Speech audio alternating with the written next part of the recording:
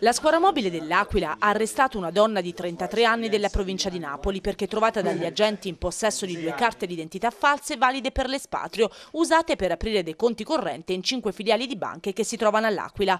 La donna, in particolare, lo scorso mercoledì si è presentata presso un istituto di credito in via Corrado IV, dopo averne già visitati altre in diverse parti della città nella stessa giornata e nei giorni precedenti.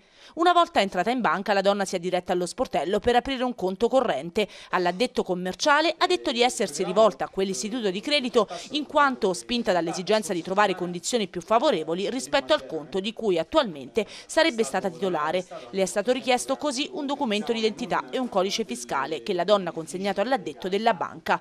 Quest'ultimo ha riferito anche alla cliente di dover avviare tutta la pratica amministrativa, quindi i due si sono dati appuntamento nel pomeriggio della stessa giornata per concludere il contratto.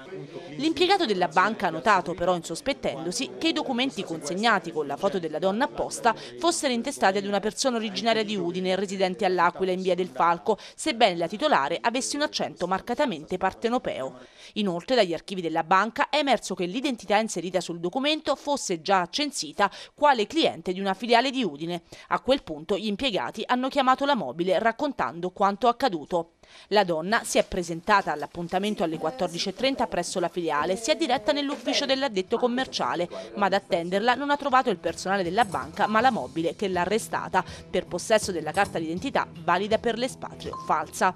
Addosso alla donna è stata trovata anche una ricevuta di una stanza d'albergo all'Aquila. Immediatamente gli agenti si sono recati presso l'albergo stesso, che si trova all'ingresso della città, e hanno perquisito la stanza, sequestrando una ricevuta di apertura di un conto corrente bancario, sempre a nome di una ragazza di Udine, acceso lo stesso mercoledì presso un istituto di credito dell'Aquila, diverso da quello dove si era recata, una carta d'identità e un codice fiscale entrambi falsi, intestati a un uomo di Padova residente all'Aquila, e un foglio dattiloscritto con un elenco di banche.